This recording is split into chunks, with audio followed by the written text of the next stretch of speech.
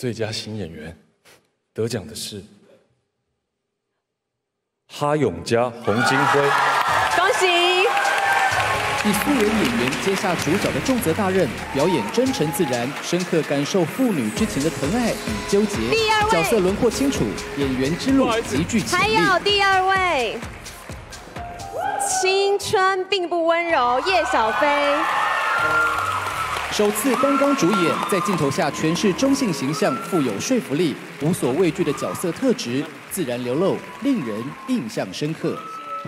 谢谢我的起点纸剧场小弟老师，还有纸剧场的导演们，曲佑宁、北村风情、李庆荣导演，谢谢这一路所有合作过的导演还有团队，呃，还有谢谢盛十一，谢谢好好娱乐，谢谢简小姐，还有我今天的小飞侠战队，还有谢谢爸妈，我妈今天有来，然后。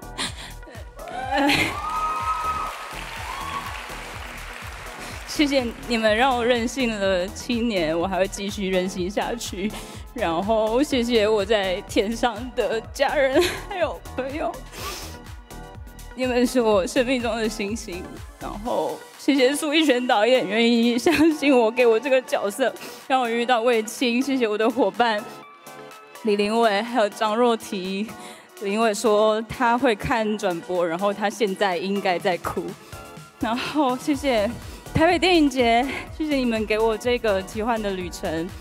那接下来可以请大家多多找我拍戏吗？我戏里的妈妈，我跟她讲说，真的是我的名字吗？她说对，是我的名字。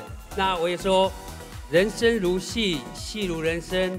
也许有哪一天，我有机会像戏中一样，像台北市市长一样这样出来选举，对不对？希望我们的族人可以帮我那个支撑一下，支持一下。那有一句话哈，就是说，你心里想什么，你用心去做，他自然就做到，就是这样。在这个台上，我要谢谢我的贵人达哈导演，啊、从我试镜到出演到金马，然后到今天的北影。那今晚那时候在台上还大合唱，很可惜啊，麦克风是假的，如果是真的话，那声音更棒。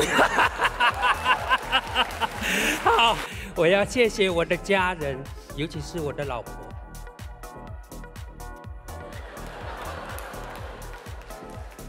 谢谢你给我厚着脸皮，然后一直那个怎么讲，那个啊，怎么最后一句忘了那句话，就是 他一直给我动力冲下去。谢谢大家。